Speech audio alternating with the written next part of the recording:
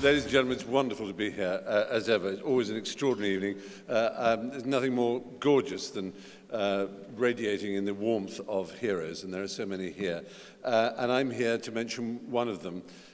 There are very few arenas or areas of activity in human life in which glory is possible.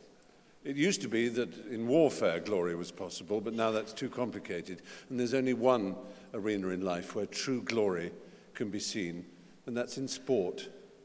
And um, this summer, a moment of glory took place on the 4th of August in Nottingham, which was so extraordinary that it will live in legend and in song for as long as people celebrate the greatest game that man has ever devised cricket.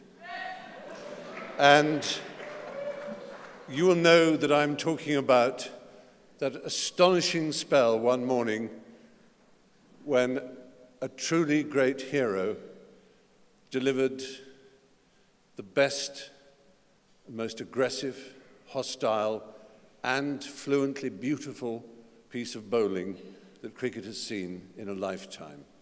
And we're here to celebrate the great Stuart Broad.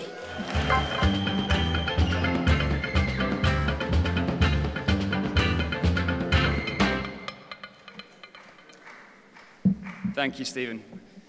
Um, I feel a bit overawed being here tonight, um, receiving such an incredible award. Uh, I've been very lucky this summer to play with 12 other guys in the Ashes series who worked so hard, um, but also had a huge amount of fun. Uh, and I always believe in sport, if you have fun, you generally play at your best.